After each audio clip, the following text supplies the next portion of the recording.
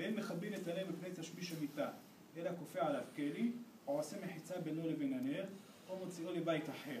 ואם אינו יכול לעשות אחת מכל אלו, הרי זה אסור לכבות ואסור לשמש עד שתכבה מאליה. אף על פי שההבערה ביום טוב מותרת, מותר להבעיר אש ביום טוב, והגמרא אומרת, וכך הפסק להלכה פה ברמב"ם, בשולחן ערוך גם, שמתוך שהותר ההבערה לצורך, הותר הנמי שלא לצורך. הכוונה שההבערה מותרת לאו דווקא לצורך הבישול, דהיינו מלאכת אוכל נפש, אלא אפילו צורך אחר. דרך בדרך כלל, שאר כל המלאכות, משהו צורך נפש מותר, משהו לא צורך נפש אסור. הבערה מותר אפילו שלא לצורך נפש. למשל רוצה לחמם את הבית, הוא רוצה להעיר, זה לא אוכל נפש דווקא, הוא רוצה לקרוא עכשיו, הוא לא רוצה לאכול. אף על פי כן מותר להבעיר אש. ביום טוב מותרת ההבערה. רק חכמים גזרו שלא ידליק אש חדשה, שזה ממציא, ממציא מוליד דבר חדש, וזה היה אפשר להכין מאתמול. אבל אם יש לו אש קיימת, אז מותר להדליק ממנה אש אחרת, כמה שרוצה. אפילו עשר נרות, אפילו מאה נרות, אפילו רוצה לשים את ה fireplace עם קר, רוצה לחמם את הבית, כל הבערה מותרת טוב. אבל הכיבוי, מלאכת הכיבוי אסורה. לדעת הרמב"ן, כמו שהרמב"ן סובר בהלכות שבת, כך הוא סובר גם פה בהלכות יום טוב, שמלאכת הכיבוי זה איסור תורה, שמי שמכבה את האש, חי על זה ביום טוב חי מלכות. בשבת חי חטאת, טוב חי מלכות. זאת אומרת שזה איסור גמור. ולא רק מכבה בגלל שהוא לא צריך את האש, אלא אפילו הוא מכבה מפני הפסד ממון, איבוד ממון. הולך להישרף לו דבר יקר, והוא חס עליו, לא רוצה שישרף לו, אף על פי כן אסור לכבות את האש.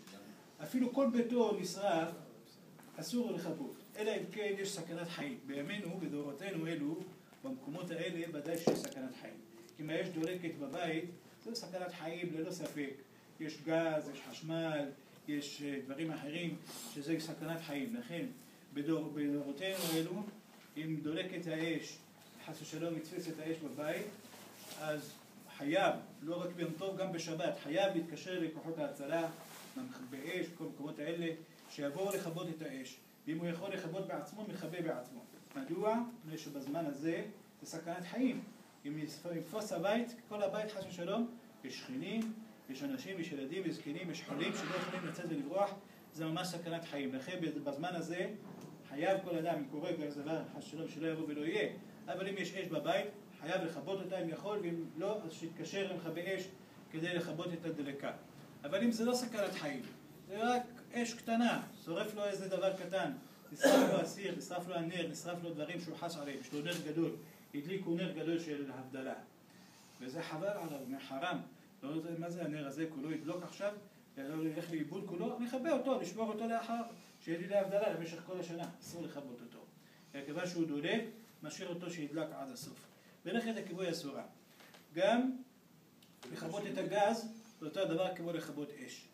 וממילא גם להנמיך את האש, כמו שאסור לכבות את האש, גם להנמיך זה מכבה. יש רק הנמכה אחת שהיא מותרת, כשהיא צורך הבישול. זה נקרא מלאכה, מלאכת אוכל נפש. הוא רוצה לבשל אורז, אי אפשר לבשל אותו על אש שרף. הוא שם אותו על אש נמוכה כדי שיתבשל לאט. או יש מאכלים כאלה שאם מתבשלים בישול איטי, יותר טוב להם. בישול מהיר לא טוב להם. אז הוא שם אש נמוכה. מותר להנמיך את האש לצורך הבישול. אבל כבר התבשיל מבושל, גמר לבשל אותו. מוציא אותו מהאש, אומר חבל על הגז. תנמיך אותו קצת, כדי שלא לא, לא יהיה בזבוז. זה כיבוי שאסור. זה לא לצורך נפש. כיבוי שהוא לצורך נפש, מותר. כיבוי שהוא לא לצורך נפש, אסור. אבל גרמה בכיבוי, זה אפשר לעשות, בגז. איך עושים גרמה? הוא מרתיח למשל מים בכלי קטן, פינג'אן קטן, מרתיח בו מים, המים גולשים, מכבים את האש. אחרי שהאש כבדה, לסובב את הגז, לסובב את הכפתור, זה כבר אין בזה שום דבר. הוא רק סוגר ברז. כמו שסוגר את הברז של המים, סוגר את הברז של הגז. זה דבר מכני לחלוטין. אין בזה שום דבר. אבל לכבות את הגז ביד, זה אסור. הרב פיינשטיין, היה לו חידוש בכיבוי. הוא רומז על זה בספר שלו. כותב, יש לי בזה חידוש, ואני לא רוצה לגלות אותו. אבל התלמידים שלו אמרו לנו, מה החידוש שהיה לו? הוא חידש שבגז שלנו הכיבוי לא אסור. למה? אומר, הטעם, פני, שאני לא מכבה את האש עצמה. אני רק עוצר את הגז מלבוא. אני סוגר את הברז, ואז לא מגיע גז חדש. יש כל הזמן אספקה של גז דרך הצינור, עולה הגז ללהבות. כשאני מכבה את הגז, אני רק סוגר את, ה, את הזרימה של, של הגז. לא התעסקתי באש, לא לקחתי מים, כיביתי את האש. זה מה שחכמים מדברים, זה לכבות בידיים. פה הוא לא עושה מכבה בידיים, הוא רק מסובב. והרי הגז הזה נקרא שמו גחלת של מתכת. שגם לדעת הרמב"ם שקראנו כאן, שהוא אומר שיש באיסור כיבוי מאיסור תורה, זה דווקא בגחלת של עץ. אבל בגחלת של מתכת זה לכל העם מאיסור רבנן. אז אם כן, זה נקרא גרמה בדרבנן. וגרמה בדרבנן מותר. זוהי דעתו של הרב פיינשטיין, ואני שמעתי שהוא אף בביתו היה מכבה את הגז. ביום טוב. חס ושלום, לא בשבת, רק ביום טוב מדברים.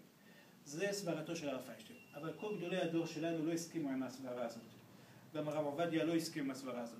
גם גדולי רבני האשכנזים, הרב שלמה זלמן אוירבך והרב אלישיב, ועוד גדולים אשכנזים, וגם גדולי הספרדים, הרב בן צלע בשאול, זכר צדיק לברכה, הרב עובדיה שיבדל לחיים, עוד גדולי הספרדים הספרדים, כל גדולי הדור, ממש כולם מקצה לקצה, לא הסכימו עם הסברה הזאת של הרב, עליו השלום, בעניין כיבוי הגז. ויחיד ורבים, הלכה כרבים, מה אפשר לעשות? אז לכן, ההלכה היא שלא לכבות את הגז בידיים. אבל למה אני אומר לכם את זה? אם אתה הולך אצל מישהו טוב, אתה רואה אותו מכבה את הגז בידיים, אל תחריב לו את הבית. עזוב אותו, יש לו אילן גדול להתעלות עליו. הוא הרב משה פיינשטיין שהיה גדול הדור כאן באמריקה, בסברתו שמותר. אז הוא מכבה את הגז, הוא לא, לא יודע, או שהוא לא יודע שאסור, או שהוא לא חושב שאסור, או שהוא לא מבין שאסור, לא משנה. יש לו אילן גדול להסתמך עליו, לכן אל תמחה בידו בתוקף, וזה, יש בזה מחלוקת אחרי הכל, וזה מחלוקת בדרבנן. אבל אנחנו לעצמנו צריכים להחמיר, כיוון שרוב גדולי הרבנים סוברים שיש בזה איסור, והטעם שלהם שזה לא נקרא גרמה. גרמה פירושה זה שלוקח זמן מהמעשה שלי עד התוצאה. זה נקרא גרמה. יש איזו שהייה מסוימת. אני עושה פעולה עכשיו, והתוצאה לא נהיית מיד, באופן מיידי. זה נקרא גרמה. לוקח דקה, לוקח שתי דקות. אבל הגז, אתה סוגר את הכפתור על המקום, יכבה הגז. אין שום שהייה בינתיים. לכן זה נקרא מעשה, זה לא נקרא גרמה, ומעשה בידם, זה סברה של גדולי ישראל. יש את הפיילוט. הפיילוט זה אש אחרת, זה לא אותה אש. לכן, אתה צודק שלהדליק, יש גם הרבה פוסקים אומרים שמותר בפיילוט, אבל לכבות זה לא שייך. לכבות, אם יש מישהו, שני, שני, להנמיך מותר, להנמיך זה גם כיבוי. לכבות, יש לי שני גז דולקים, אני מכבה אחד, השני נשאר דולק, זה מותר? זה אסור. אותו הדבר כאן, זה שהפיילוט דולק זה לא פותר את הבעיה. הפיילוט עוזר לדבר אחר. הוא מסובב את הכפתור של הגז, ואז נדלק הגז מאליו. זה לא נקרא שהוא ממציא אש חדשה, כיוון שיש לו אש קיימת שם. יש אומרים שגם זה נקרא המצאה חדשה, למה? אין קשר ביניהם. אתה לא רואה שהאש הזאת קשורה לזאת. אבל מי שמכיר על זה יש לו מה לסמוך גם כן. שאפילו אם זה בא מהאש, עברה דרך הגז, הגז הקפיץ אותה והביא אותה, גם זה מותר. אבל לכבות זה לא שייך כבר אם יש אש דולקת או לא. אלא מכבה גז אחד, אסור. אפילו שהפיילוט דולק, ברוך ה' לעולם